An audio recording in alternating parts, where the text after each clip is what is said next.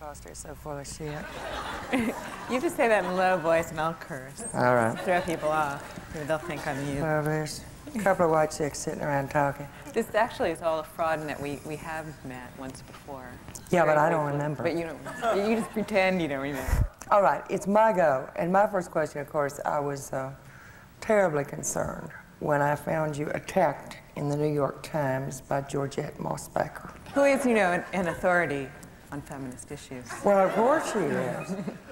Uh, damn, I thought it must be like getting gummed by a newt. Uh, she called you out all right. She said she traveled all over the country and couldn't find the women you described in your book. All the women she talks to are satisfied with their lives, and furthermore, they paint their fingernails. How do you explain that, Susan? That's, you know, women, women tend to agree with you when all the women are, you're talking to are in the mirror. well, I love, I mean, I love how uh, when the New York Times wants an expert on feminism, they go out and get the, you know, the queen of lip gloss. When, when they're looking to do an op-ed piece on the Middle East crisis, do they go out and get the executive of Barney's? I guess, I guess she put me in, in that place. Uh, um, wanted to ask you about the basis for the book. Um, I read in People magazine that the book was inspired by that Harvard-Yale study on marriage. Now, what I want to know is, uh, how did that come to arrest your attention so strongly? There's a report you recall that said uh, that uh, after a certain age, you were more likely to be blown up by a terrorist bomb than ever get married. Well, what did you think? God damn, you you know. What's wrong with soup for one cans? You know, it's easy. The Super One cans? You don't even need a can opener. You're right. There's a lot to be said for that. I was nearly reaching uh, 30 and I hadn't been bumped off by a terrorist. I mean, get married.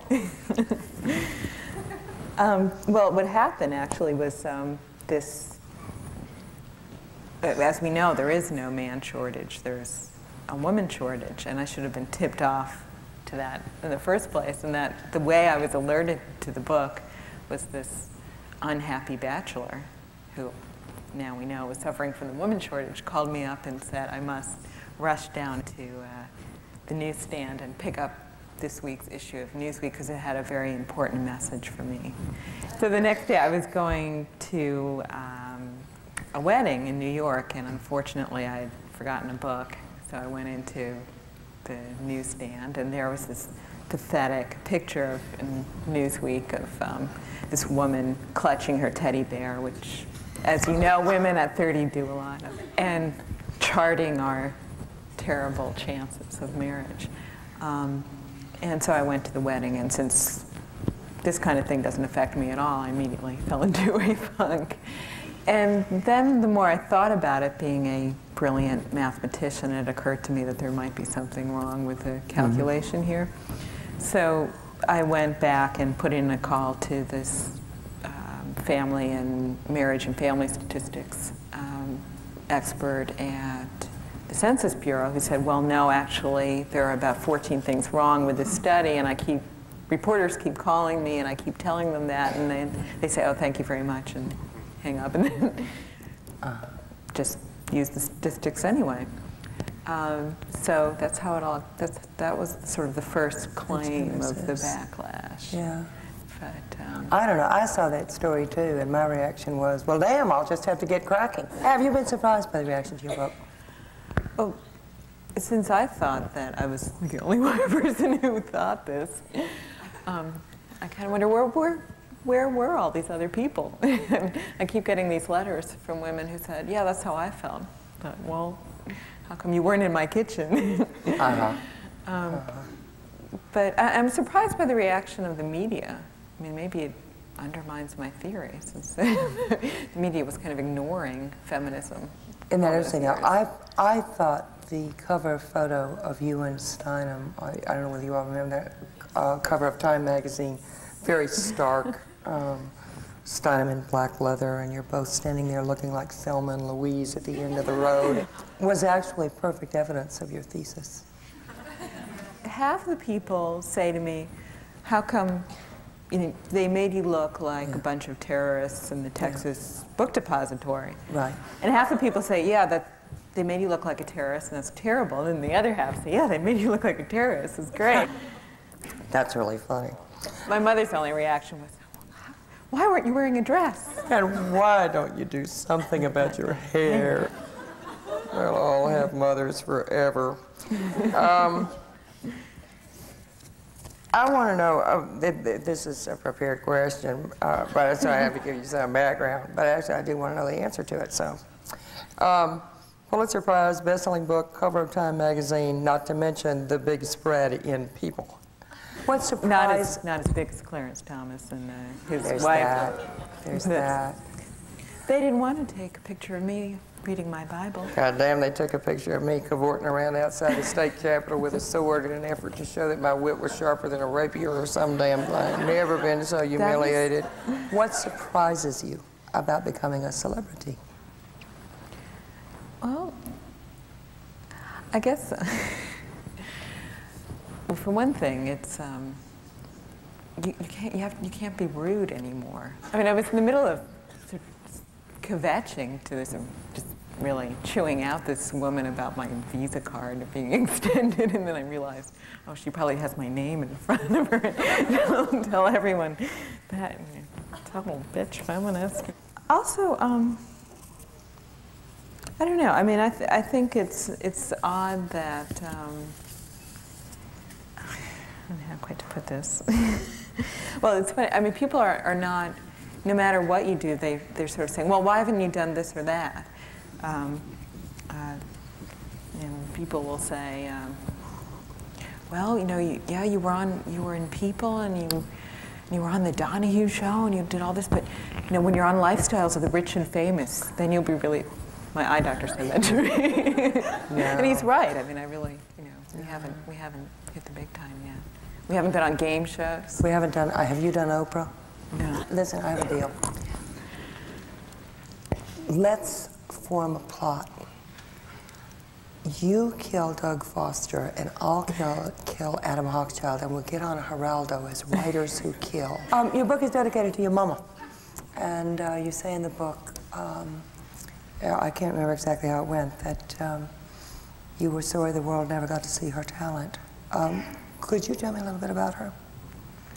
Well, she's a frustrated journalist Oh, herself. Uh, I was reading it. Um, and Gloria Steinem's mother was also a frustrated journalist. So there you go. It's Yeah. a trend. that's it. She's a trend.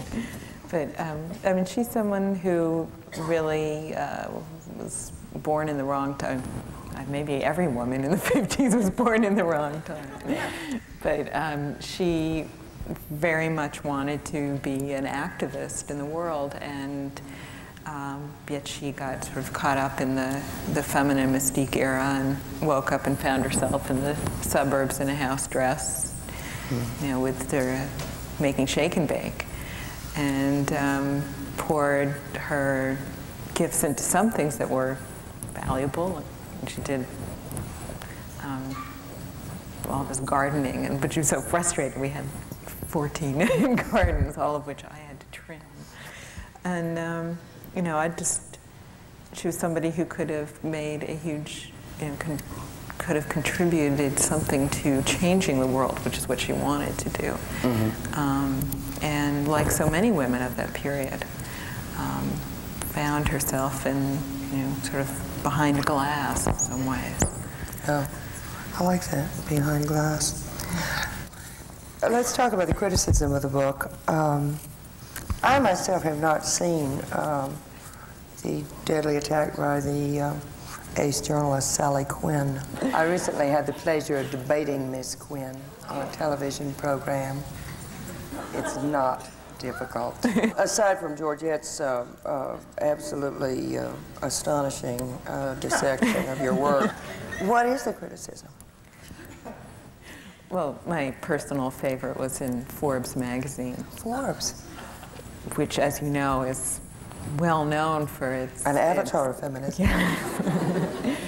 And um, the author of the, the reporter who took me apart, she, she called me up and said, I'm going to write a review of, of your book. And I said, oh, well, that's nice. And she said, well, I, I just completely agree, uh, completely disagree with the premise. And I said, oh, well, what is that? She said, oh, well, that women are all sheep. And I'm sort of looking in the book, what page did I say that on? And then she said, and furthermore, I just want you to know that you said something rather critical about a piece I wrote in your book.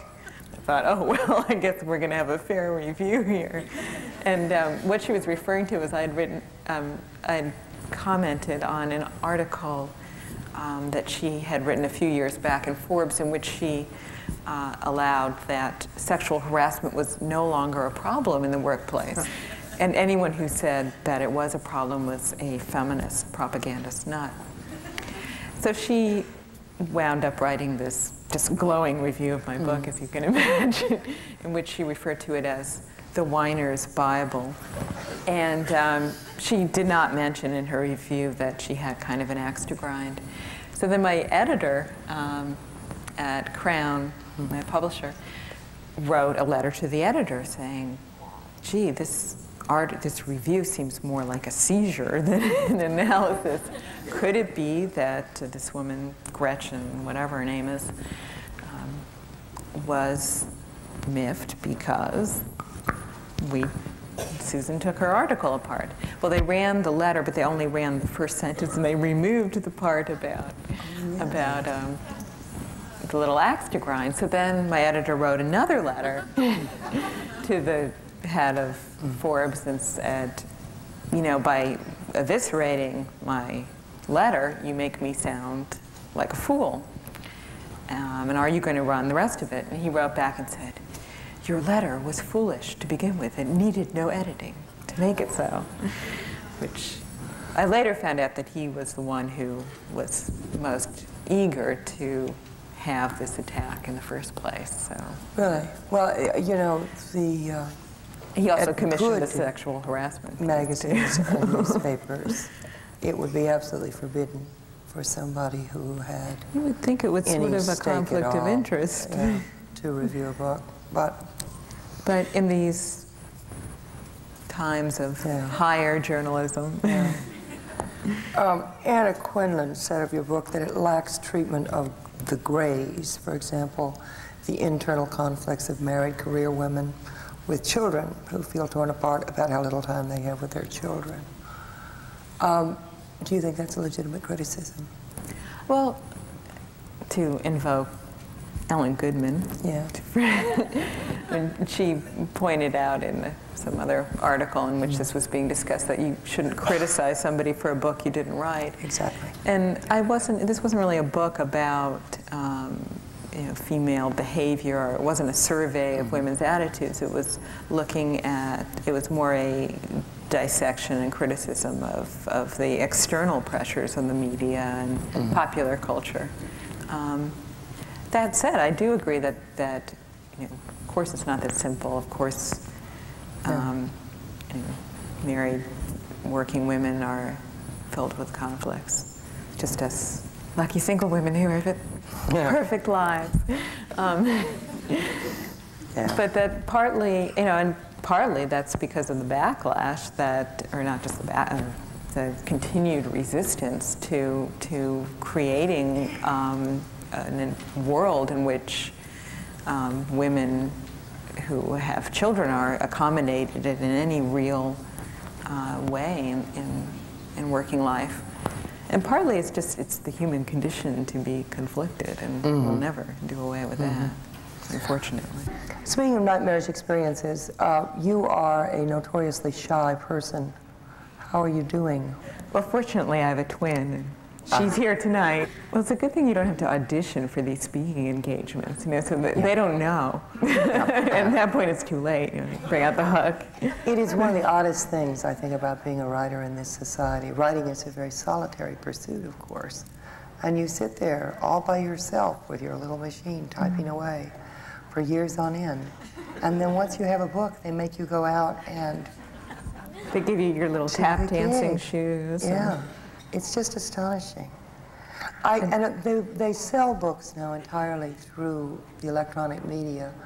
I kept sort of wistfully saying to my editors at Random House, don't you think we should put ads in magazines so that people who read will see? And you wonder, I mean, do these people actually, do people who watch Oprah and Donahue? I mean, do they Apparently, read? they do buy the books. The question is, do they read them? Sort of in lieu of, you know, a flower arrangement, they buy our books. Yeah. Yeah. A lot of people do buy books and not read them, but not our books. um, so here you are on the on the celebrity um, book tour deal. What questions have you gotten from audiences that interested you most or startled you most? Well, there are the depressing questions. I mean, there's the, the sort of, I'm always amazed at the infantile level of understanding of, women, of women's issues, or just basic things like, you know, well, what is feminism? Or, well, if women don't want to be raped, why do they go out at night? And, or, um, what are some of the other winners? Now, what, well, I don't understand what the difference is between flirting and sexual harassment. It's just very confusing for us guys now. I should point and think, well, then you should be staying home and dark. But that's a, a- the other, I mean, the other depressing thing is how you get asked. I mean, you must have this. You get asked the same three questions over and over and over again by the media. I mean, it's embarrassing. I mean, as part of the media, I'm embarrassed. I want to just give hand out little cards. You know, I've answered those three. What are the three? Um, well, what is feminism from the media? Um, um, where are we going? Where are we going? Whither. That's a good one. Oh, you know, is feminism in or out now, and will it be in or out in the next year? Is the backlash over? And if so, you know, what's hot for 1992? It is embarrassing to be a journalist, isn't it? God. Well, they also, I mean, some of the, where they sort of pretend that they've read the book and then followed by, one, this, this one reporter called me and she said, oh, just great book, great book. And, you know, I've been reading it and day and night. And then she said, one, only one question I have for you. Why didn't, why didn't you have any footnotes? Sort of, well, there's 150 pages of footnotes at the back. I said, oh, oh, oh, right, right, right, right. Well, anyway, uh, gotta go. Oh, it is Do you, do you get stupid ones like that? Or? No, never. Um, I'm still stumped by the first one I was asked when I started book tour. So, Miss Ivins, what is it about Texas? It's awful. It's embarrassing. Um, yeah, tour. It's it's fairly bizarre. Well, I do have a piece of free advice for the audience. Never write a book and give it a title that is not self-explanatory, because you will be asked about it at every stop, and then you will have to tell the goddamn wretched story one more time. Which you're going to have to do tonight, of course. I'm going to just get it out of the way now. It's our night. We don't have to. I don't have to tell that story. My book, on the other hand, they just think it's about a whiplash problem. And it, it's true that I'm doing a sequel uh, with Georgette called Eyelash. The subtitle is I Was Wrong. I guarantee it's going to be a bestseller.